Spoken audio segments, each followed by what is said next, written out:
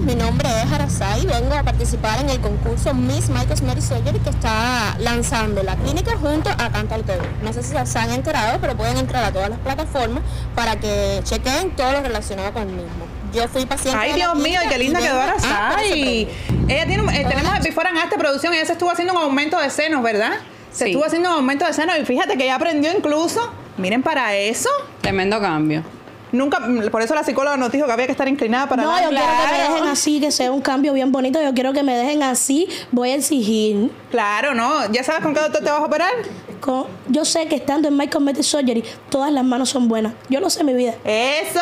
Por lo menos está claro, vaya, por lo menos Eso es toma lo una que buena decisión. Clara, clarísima, mi vida. Porque todo lo mío es en superlativo. Acuérdense, mostra Sí, mostrísima. Ají no, ají. Ají.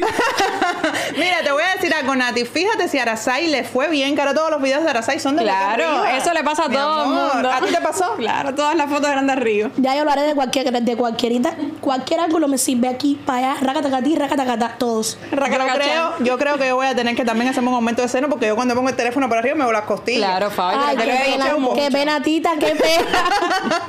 me va mal, me va mal. Nati, mira, te invito a que te quedes acá con nosotros porque ya esta es tu casa. Y nosotros vamos a ir de la mano contigo. en Ay, este producción, cambio. qué falta de respeto. Dice, te invito. No, mi amor. Te dije que yo soy panelista fija aquí. Ok. Fresca que eres, mi vida. Ya, perdóname. Se te quiso y te solté. Daniela, a ver si me defiende. No, pero es que yo no sé ni qué le voy a Eh, decir. Trieñita, Trieñita, no te metas. No, no, No te tranquila. cojas un problema que no es tuyo, mi ciela.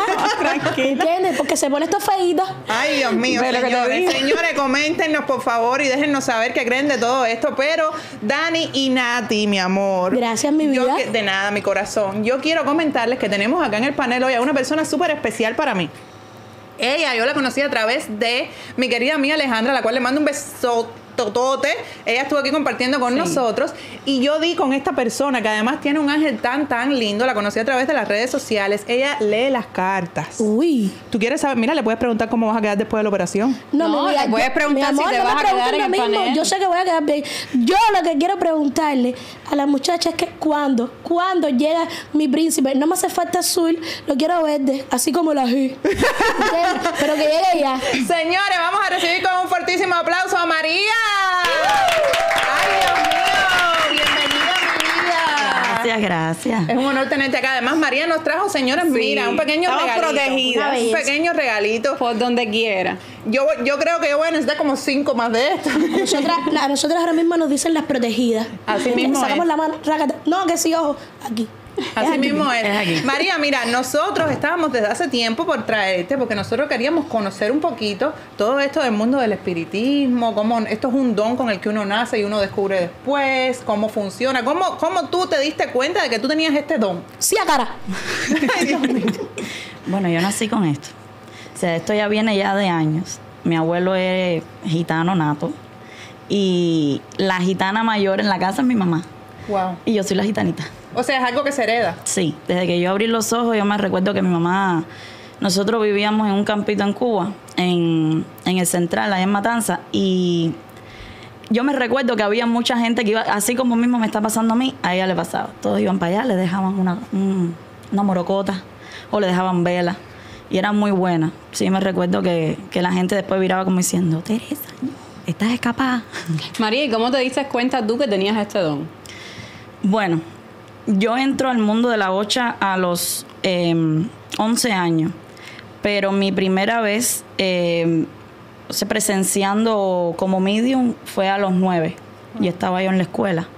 Me pongo a jugar cosas que no tenía que jugar y, y es cuando lo que se le dice en Cuba montar, pasamos esto, lo pasé a los Permiso para el que no entiende, que nos está viendo el mundo de la ocha, si no me equivoco, es la santería, la religión Sí. yoruba, ¿no? Sí, que viene de África, sí.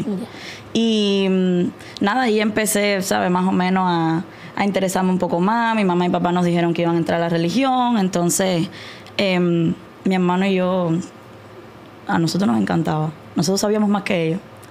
Y era una cosa que nació, o sea, era una cosa que ya venía en la sangre. Entonces te diste cuenta porque te montaste. Sí. Pero sí, de esto de leer las cartas, qué ¿cómo te diste Pero cuenta ¿en que dónde? ¿En la guagua? ¿Dónde fue que se montó en la Se guagua? montaron, se montaron arriba mío. Ay, vieron a ella de guagua. Ah, Dios. Dios te Eh, bendiga a mí. Hace tres años fue que yo empecé con lo de las cartas. Estábamos en la casa mi mamá y yo y ella ya lleva mucho tiempo sin tirar las cartas y, y yo le dije, mami, si nos ponemos a tirar así a las, redes, a las redes sociales, a consultar. Y ella me dijo, bueno, dale. No, yo no pensé que eso iba a dar resultado, la verdad, porque eh, como tal, a veces la gente le da un poco de miedo y ese mismo día 10 personas se consultaron con nosotros. Wow. Bueno, mi mamá terminó como ay, no, ya, yo no puedo más. No, ya, ya, vamos a parar. Y yo dije, bueno, a mí esto me gusta, yo voy a seguir sola. Empecé ahí más o menos. Ella me decía, coge el significado de las cartas y ya después lo otro es espiritual. Ya lo otro te nace, ya todo lo demás viene solo. Y ahí empecé yo, ¿sabes? Tenía el papelito al lado y decía, bueno, esto es esto, que no sé qué. Y ya después, un, día ya dije, bueno, voy a quitarme el papel y voy a empezar. Hasta el sol de hoy, que hace tres años que empecé, que me gusta, que me, me encanta. O sea, yo, yo siento que yo nací para esto. Wow, qué interesante. ¿Y tu hermano también tiene el mismo don? Mi hermano es babalao. Mi hermano sí consulta lo que es eh, como babalao. ¿Está estrechamente relacionado esta tirada de cartas de, de los gitanos a la religión yoruba? Em, bueno, yo siento que todo, todo se une, pero como tal, eh, lo, lo gitano viene más bien de la India y lo, lo de nosotros, lo- la ocha viene como tal de Nigeria, África. O sea, al final casi todo está, está unido. Cuba todo lo une. María, ¿no te ha pasado algo eh, a lo que has llegado a tenerle un poco de temor a como este poder que tienes? Sí. Cuéntame alguna anécdota. Bueno, yo predije la- el fallecimiento de, de una persona muy cercana a mí. Ay, o sea, del padre de una amiga mía. Una, yo lo tenía como un tío. Wow. Y le dije todo lo que le iba a pasar. O sea, que iba a caer en un hospital. Y así que iba a salir, que iba a volver a entrar y ya no iba a salir más. Le dije, dile que se cuide, que trate de... Y no hizo caso. O sea, tú lo presentiste, Yo lo vi en las cartas. lo viste en las cartas. Y Sí. pasó. Y pasó. Sí, hace ya dos años que falleció. María, ¿y qué es lo que sientes cuando estás montada? Es extraño, no sé ni cómo explicarlo, porque yo siento todo lo que está pasando, yo sé todo lo que digo, pero me siento como, como que me levantan el cuerpo y estoy bien lejos. O sea, yo sé todo lo que está pasando en mí, sé todo lo que digo, pero en realidad no, no soy yo la que hablo. Y cuando consultas las cartas, siempre he tenido esta duda. O sea, tú como que estás viendo una imagen en tu cabeza o como que te están diciendo algo cuando me, com- me comentas que se combina, ¿no? La predicción con Sí. la lectura de la carta. Sí, a ver, muchas veces siento que el, el ángel guardián o el espíritu de la persona que acompaña a la que estoy consultando como que me habla. Muchas veces veo la imagen de la persona, no veo bien la cara, pero veo lo que me quiere decir y yo lo digo a través de eso. O sea, es básicamente lo que, lo que, lo que siento cuando tiro las cartas.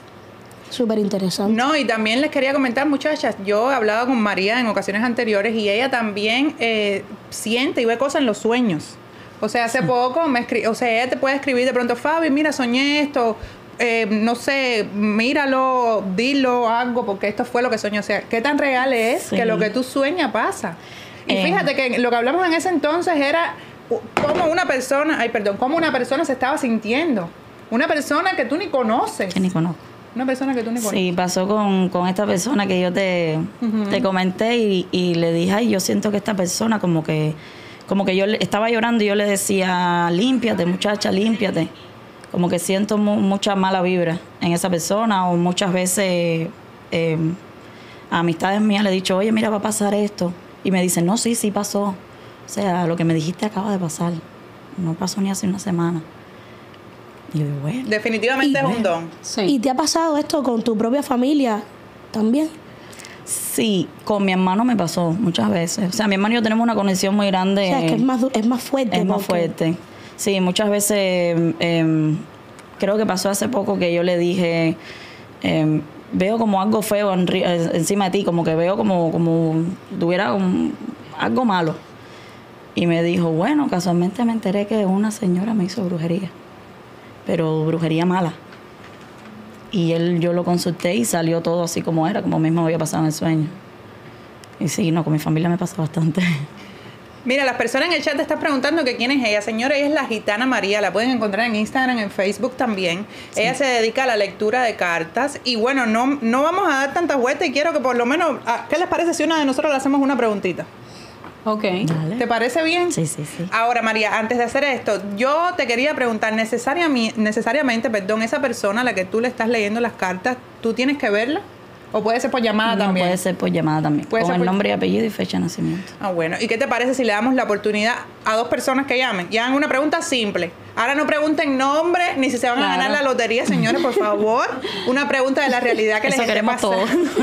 Sí, porque esa pregunta todo va a ser sí, todo sí, todo sí. Entonces aquí está el número de teléfono. Cabo, lo puedes poner gracias. 786-541-3695. En lo que ustedes se atreven y llaman, fíjense, si quieren pueden llamar de manera anónima. No, pero tienen que decir el nombre. Sí, ¿verdad? Bueno, tienen que decir el nombre. Bueno. Con la fecha O de pasen el nombre a través de un mensaje y después llamen y hagan su pregunta. Exacto, si lo quieren hacer anónimo lo pueden hacer de esa manera. Pero bueno, dale, yo de última, empieza con Dani.